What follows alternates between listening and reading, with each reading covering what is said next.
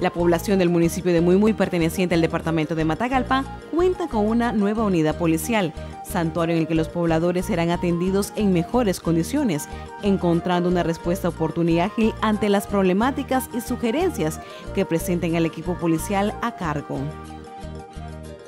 Con instrucciones de nuestro jefe supremo, comandante Daniel Ortega Saavedra, presidente de la República, y de nuestro director general, primer comisionado Francisco Díaz Madrid, en que debemos de acercar cada día los servicios a nuestro pueblo de forma rápida, dado que la pronta respuesta puede salvar vida o que los daños a la vida o a la propiedad se puedan evitar.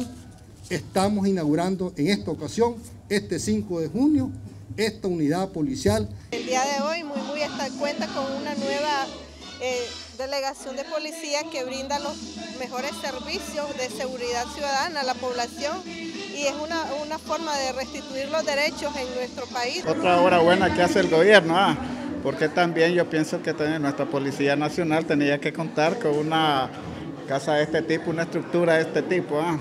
porque también es algo que se lo merecen, porque ellos son los que los aseguran a nosotros la seguridad ciudadana. Así nos sentimos más comprometidos con la población, a seguir adelante, luchando día a día en contra del narcotráfico, del delito común.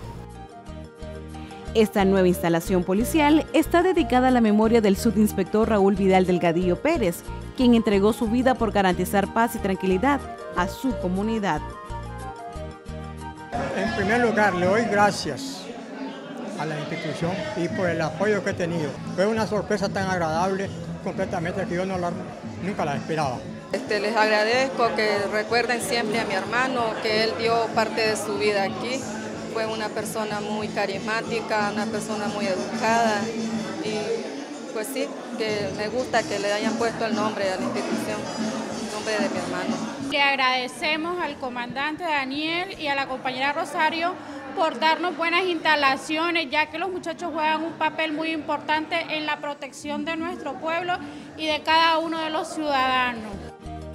Con una inversión total de 6.6 millones de córdobas provenientes del presupuesto general de la República invertidos en el equipamiento de la unidad policial, serán beneficiadas más de 17 mil personas de este municipio, ubicado a 147 kilómetros de la capital.